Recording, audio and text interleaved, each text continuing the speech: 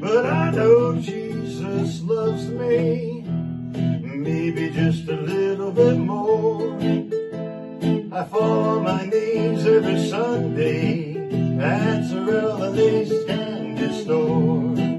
Well, it's got to be chocolate Jesus, makes me feel good inside.